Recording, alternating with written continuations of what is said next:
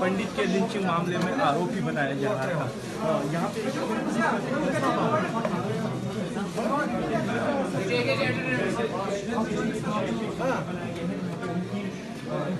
आज के मगर फायरिंग